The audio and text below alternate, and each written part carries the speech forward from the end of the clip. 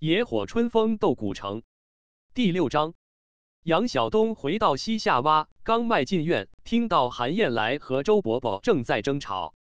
先给杨叔叔取出相片，花钱的事可不要对他讲。再重的担子，我们也担起来。说话容易，你有什么办法？把存的那副梅花牌的外带卖掉它。我知道你又出这个点子，卖掉以后别蹬车了。真想的好主意，我的主意坏，你说？我说，先叫苗先生垫着，等我杨种的黄牙酒下来。又提黄牙酒，你没看着细弱的像头发丝。再说，除了原主的，有你多少？我苦抓苦挠的侍弄他，总有我一份。俩人越说越升高，渐渐顶撞起来。杨晓东只好倒退几步，一面大声咳嗽，一面呼喊小燕。小燕打起帘子，让他进去。屋里吵嘴的沉默了。韩燕来绷着脸，周伯伯点头笑了笑，笑得很勉强。杨晓东故意不同他们谈话，搭讪着问小燕：“今天回来这样早，都卖完了？我见你早晨还没吃饭。”放心不下，回来看看。说着，从篮子里拿出一串果子，你吃早点吧。我给你倒杯开水去。叫我吃这个，你好大方。我问你，这一篮子货有多大赚头？杨晓东故意说的很开朗，这里边的故事点子可多了。小燕很认真的。炸果子铺里也零卖也批发，批发的百里加实，果子个头小，买批发价的多是小贩铺，他们资本大，现钱买现货，炸果子铺还得给人家送上门去。我们算是零买，零买百里加五，早晨取货，下午交钱。我们零头的果子个头大，转向小，喂的好出手。像今天这八十个货都卖了，也只赚四个货。碰到刮风下雨，至多保住本，有时候还出大错而已。他说的是去年汽车砸篮子的事。去年秋天，小燕挎了满篮子货，想到车站去，途中听到大车叫，他慌张赶路，不提防拐弯时撞在一个日本兵身上，那家伙恼了，抬脚踢翻他的篮子，果子滚落满地。才说猫腰拾起，一辆大卡车飞驰开来，连篮子带货碾得稀巴烂。小燕哭哭啼啼走回家来，全家没吃中午饭。小燕重提这件事，韩燕来心里颇有感触，联想到目前生活，她长叹了一口气。杨晓东抓住这个机会，想同他们谈谈，刚说了句：“你们的生活够困难的呀。”周伯伯接过话头说：“可困难到家了。就说我杨种这点园子，春季种菠菜，接着种玉米，冬天是弄暖房，每年总有三大季，收获不小呵。”可时成交人家园主七成落到个人名下，够喝凉水的。劳累一年，闹得缺吃少穿，哪有余钱呢？他的话虽是实情，韩燕来听后起了很大的反感。你为什么当着杨叔叔哭穷？这起什么作用？幸亏借钱取证书的事他不知道，要不这叫杨叔叔多难为情。他沉下脸，瞪了周伯伯一眼。杨晓东故意不理睬韩燕来，就近周伯伯跟前，用商量的语气说：“辛苦一年，叫原主不动不摇的分期成去，真不合理。比方说，有朝一日，城市叫工人当家，土地叫农民使用，暖房归了你这养种菜的，好不好？”周伯伯眉飞色舞：“这还不好？你到受苦人群里问一下，管保一百人有九十九个愿意的。”可他从希望变成失望，透出像梦里拾得金银财宝，醒来两手空空一样的表情。癞蛤蟆想吃天鹅肉喝，心高妄想，说说开心话罢了。这可不是心高妄想。韩燕来又不同意周伯伯的论调，他带着教训人的口气。要知道，打倒日本鬼子，穷人联合起来，我们穷人那时候，你们穷人干啥？周伯伯没让他说完话，干啥呀？穷人就是受穷，还有别的章程？你怎么断定没章程？依我看，只要大伙齐心，没有办不到的事。能搬山，能填海，能推着地球转轱辘。周伯伯脸涨红了，你别逞强，再强还强过你老子。你老子英雄一辈子，下场好吗？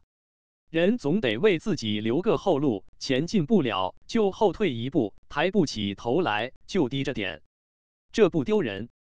韩燕来脑子早热了，纳不住心头火，不是低头就是退步，这不是丢人，难道是长脸？当着杨晓东受到这样抢白，周伯伯脸上热辣辣的，像被人打了嘴巴，他气得直颤抖。这这这不是当着你杨叔叔，我把话说清楚了。我和你爹是磕头的兄弟，你爹没了，我怜惜你们，才收敛到一块。现在你翅膀硬了，把我看成累赘了，为啥说啥谈不到这上头？对，为啥说啥？咱索性说穿喽。这些日子你马不停蹄的，什么活儿不想干，整天胡跑，昨儿深更半夜才回来，我都看在眼里了。叫我说什么呢？要依我说，在矮房檐底下就得低着头走路。你们，我连你叔叔也说着理。要真忍受不下去，到外边去，一刀一枪多痛快。大活人蹲在老虎嘴底下，大睁眼睛，挺着胸脯朝人家刺刀尖上碰。为什么？为什么呀？你们真要不听劝说，我带上小燕远走高飞，离开这块地方。周伯伯悄悄的。小燕从帘外缩回头来，提防给苗太太听见呀！吵什么呢？背人的事，不显山不露水就行呗。谁个傻瓜拿胸脯碰刺刀哇？从前我小的时候，记得周伯伯也是天不怕地不怕的，上了岁数倒胆小了，好比象棋上的老将儿，躲在城圈里不动弹，人家将一军自己退一步，这样活着多憋气。别净抱怨我哥哥，他做的不差，不能遇事缩脖子。这年头，就是当个小卒子，也得过河顶撞顶撞。想不到，想不到你这小小的人也有偌大志气。好，既然你们都会翘腿迈高了，我还当这块绊脚石做啥？可有一宗，今后遇到山高水低，可别埋怨我。周伯伯气羞羞地站起，看光景，他要远走高飞了。杨晓东急忙拉住他，拍着他的肩膀，让他在炕上坐好，随手给他斟了杯开水。周大哥，别冒这么大火，你的苦心我很明白。你为的是什么？无非为的不出是非。你说今后不管他们，这是气话。你要不是实心实意的怜惜他们，肯从几千里外把他们带回来，我是这么看，两个没爹没娘的孩子离开你活不了。特别是小燕，要不是你拉扯养活她，说不定早就流落他乡，冻饿而死了。他的话触动了小燕的伤心之处，她一边听着，一边不断用手背抹泪。这种情景看到周伯伯眼里，他一肚子恼火先灭去半截。想到两个孩子在关东受的三灾八难，禁不住长长叹了口气。这时杨晓东继续说：“燕来抢白你，这当然不对。不过周大哥，你说他们是没良心的孩子吗？”我看不是，我来这几天也看清了。就拿小燕来说，他给你洗衣服、烧菜，吃点改样的，总不忘给你端过去。孩子们都有火性，可心地都不差呀。你养了他们的小了，他们能不对你养老报恩吗？谈到养老报恩，老人感触最深，边听边点头，眼里饱含了热泪。韩燕来没哭，脸色也和平多了。他心里更加佩服杨晓东，觉得人家能把话说到人的心里去，用十分期待的表情盯着杨晓东，希望他进一步施展本领，完全说服他们这位家长。周大哥，刚才你还提到我，我同他们兄妹一样，也得托靠你的帮助呀。要不是老大哥出头给我找房子报户口的，我在这里住不成喝。你说朝敌人刀尖上碰的话，我不这么看。谁这样傻瓜，自找其祸？我看日本鬼子打进中国，就是来杀人的。抗日牺牲的固然很多，不抗日牺牲的更多，亲日死的也不少。要紧的是多加小心。周大哥，就这样打个比方，比如说，再有像燕来他爸爸那样的人到城里来，你知道了咋办？帮助他，还是给敌人送信去？老弟，你怎么了？你打听打听姓周的为人行事吧。周伯伯，我告诉你，杨叔叔跟俺父亲是一模一样的人。韩燕来有意识的点破这一点。周伯伯歪了歪脖子，没作声。像是一样的话从燕来嘴里说出来，他便不肯服气。周大哥，我非常感谢你。老韩同志牺牲后，是你病埋的，他的儿女也是你拉帮长大了，这都是不能让敌人知道的事呀。我受了你很多帮助，今后你还得多搭手喝。周伯伯对杨晓东处于这种矛盾状态，他理想中的杨晓东是个危险人物，他观感中的杨晓东又是个诚笃可亲的人物。背地里，他对杨晓东的行动不满意，当着面不好意思说出来。听到人家要求他遇事多搭手，既惶恐又欣慰，他不大同意，但又点头应允了。危险的事情必须干，大家警惕加小心，是这场斗争的结论。有了结论，韩燕来自去出车，周伯伯去到暖房添火。小燕见他们都走了，收拾篮子就要出去。杨晓东叫住他：“小燕子，你停一下，有件大事情要你去试着办办。”小燕鼓足了勇气，到迎宾旅馆去。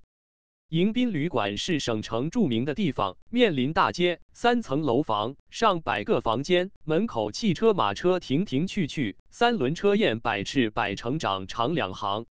三轮车为什么特别愿意给这儿拉座？原因是老板按理答应了条件，每拉一位客人，账房补贴三角。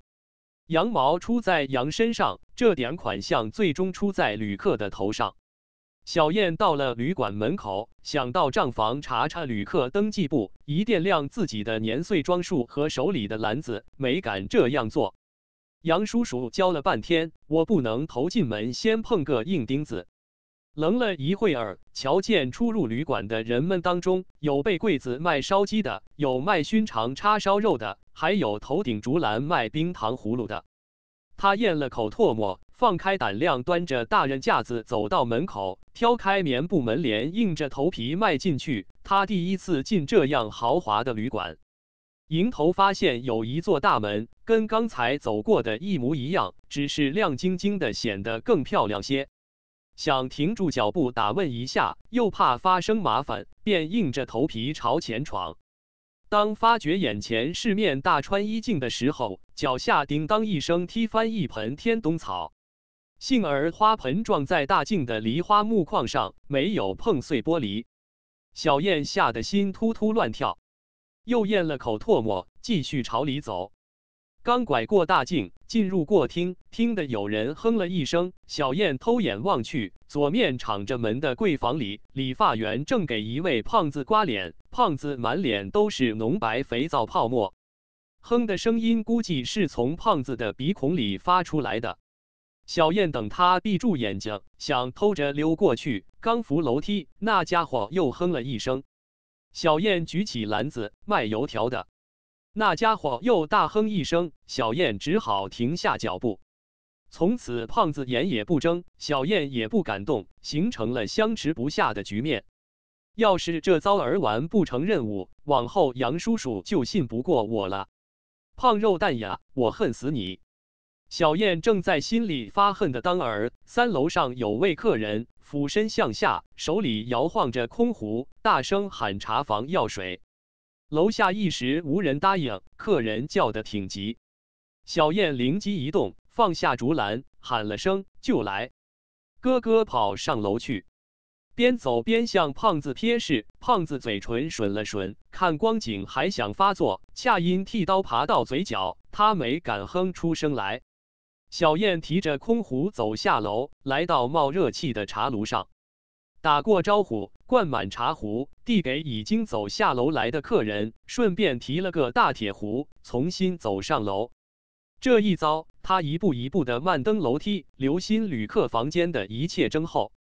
二楼的客房里有围圈打麻将的，有对坐下象棋的，有憋成小嗓拼命练京剧的，还有几个房间比较安静，但从行动举止上看，总不像青年学生。小燕心急火燎的步上三楼，这样多的房间，这样多的旅客，我朝那。他的思路被一缕动听的箫声打断，侧耳听时，箫声发自西北角。小燕走到跟前，箫声停止了，说不清奏乐的住在哪个房间。他心生一计，挨门挨户问人家要不要水。走到第二个房间时，里面有一对青年男女，女的围着白围巾，男的穿着蓝士林大衫，手里握住一支箫，他们脸上都堆满了愁容。小燕子说：“你们喝水吗？”男的漫不经心的看了他一眼，说：“不喝。”小燕冒着说：“你们一路来的同学也不喝吗？”听到他的话，围白围巾的女子喊：“小梦，你们要开水吗？”隔壁传来很尖的嗓音：“喝水能当什么？我又没吃有渗透的东西。”小燕随着声音走进隔屋去。这屋也是一男一女，女的个子不高，穿得比较阔气，脸上胖胖的，瞪着两眼，像是要跟谁怄气。他身旁那位红彤脸庞的，像是同他解释什么。小燕投进门时，仿佛听的男的讲：“急什么？就要有人来找咱联系了。”红彤脸见到小燕进了屋，立刻停止谈话，上下打量了小燕两眼。我们没说要水，你出去吧。小燕看清两屋是四个人，都像青年学生，心里有了几分把握。她便下楼回到茶炉，撂下铁壶，帮助工友拾掇灵活。工友见他手勤面善，非常喜欢，两人攀谈了一阵。经过工友的帮助，查明那几个人正是从北京来的学生，而且迎宾旅馆也只有这一帮成群打伙的学生。小燕把握更大了，重新压步悄声踱上三楼，看见红彤脸和披白围巾的女同学正凭着楼廊栏杆小声唠叨什么。见到小燕，他们又停止了谈话。小燕这才放大胆量，把他们叫到屋里，同他们交谈了几句。得到证实之后，她掏出杨晓东写好的信，千万别忘了时间、地点和暗号。说完这句话，小燕匆匆走下楼梯。下午，杨晓东同银环又站到土山公园的山顶，湖中积雪扫除了，有很多人在溜冰。约定会面的时间到了，银环扶手看到山下那个靠背椅上已经坐着一男一女，他们不住的东张西望，征得杨晓东的同意，银环下山了。他在另一个靠背椅上坐下，瞥见身旁那个白围巾的女同学坐不稳、立不安，摘下围巾又披在肩上。那位红彤脸庞的男同学眼睛死盯着手表，像是害牙痛似的吸着冷空气，说：“又过了五分钟。”银环悄悄从衣袋里掏出墨镜眼镜，戴好之后，突然站在他们面前。女同学见到戴黑色眼镜的，又惊又喜。她冒冒失失地说：“你这眼镜从哪买来的？”银环见近处无人，笑了笑说：“姑娘，你错了，应该我问你，你的白围巾从哪买来的？”呵，对了，是我搞错了，我的围巾是从北京买来的。请问你的眼镜？我的眼镜是从山西买来的。红铜脸的大学生也兴奋地参加谈话。虽然遇到的是银环，虽然银环看来比他们还年轻，但他们感到银环就是组织，就是领导。见到他，就算有了依靠，像从黑夜里忽然见到太阳一样。这批大学生是由北京地下党派两位同志护送出城的。他们彼此之间平素并未发生横的关系，出发之前临时集合见了一面，大家按照标记进行联络。红彤脸前面是白围巾的女同学，他俩都是党员。在前面是持箫的男同学，再往前是穿的阔气的孟小姐。孟小姐前面的人手持万寿山牌手杖。省城车站到了，大家拥挤下车，都在紧张地盯着前面的联络标记。孟小姐从车门迈下时，闻到烧鸡的香味，她嗅了嗅鼻子。小贩发现她是个买主，提篮截住她，喊了声“烧鸡”。她刚问了一下价钱，身后有人催她，还不快走？叫你催丧了，跑在前面等着喝毒药。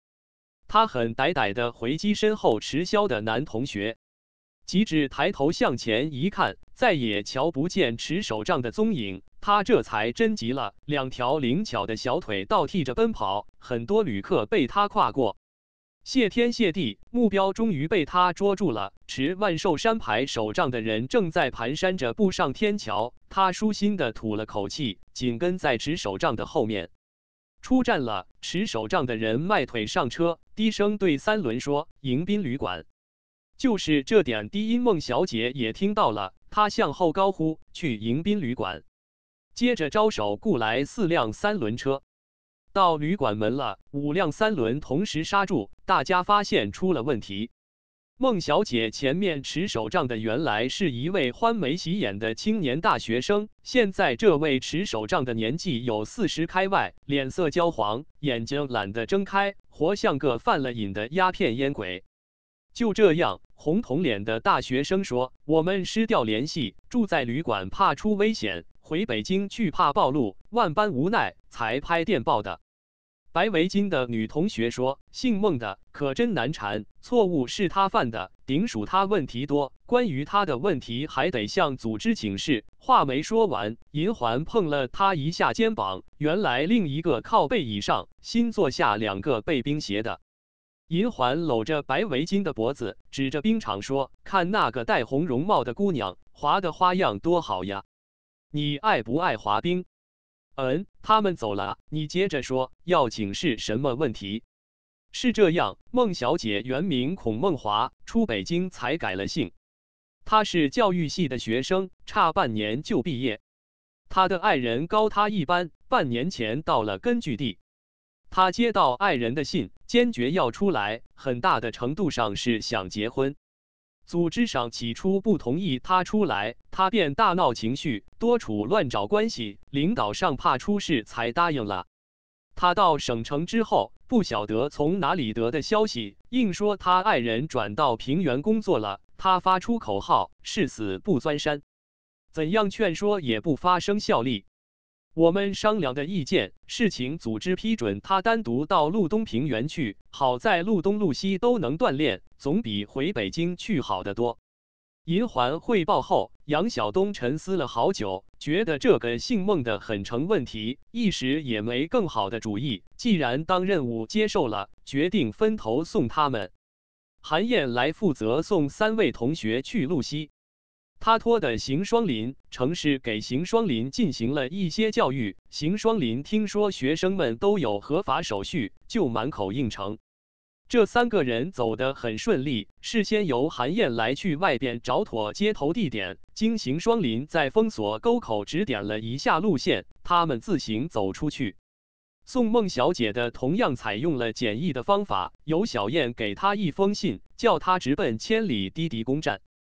但他这一行惹出很多麻烦。原来这位孔梦华小姐的父亲在伪华北政务委员会工作，哥哥跟国民党跑到重庆，未婚爱人投奔了八路军。在从父从兄从夫的选择上，他选择了后者。他对抗战和时局的看法是：中国亡不了，鬼子长不了，国民党好不了，八路军少不了。在迎宾旅馆，他的情绪虽大，但他并不害怕，觉得哪一派里都有后台。不知从哪里得来的消息，他说山里生活受不住，烧饭要自己砍柴，渴了要喝冷苦水，小米饭沙子多，住上半年肚里急成个小六轴。夜里没灯，全村在公所里挂着根冒烟的草绳，人们从那里排队取火。平原上吃的是白面，穿的是细布衣服，走起路来还可骑自行车。他认为平原的生活是他能够忍受的最低标准，坚决要求到平原工作。他想，即使爱人不在平原，可以打电报调他过来。当接到小燕给他的介绍信时，他没有顾虑，也不害怕，怀着观光旅行的心情离开了旅馆。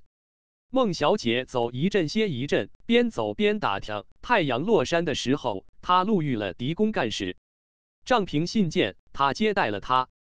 由于距狄公站很远，他竟就近领他到谷家庄杨晓东家里去。暮色苍茫中，杨老太太接见了陌生的来客。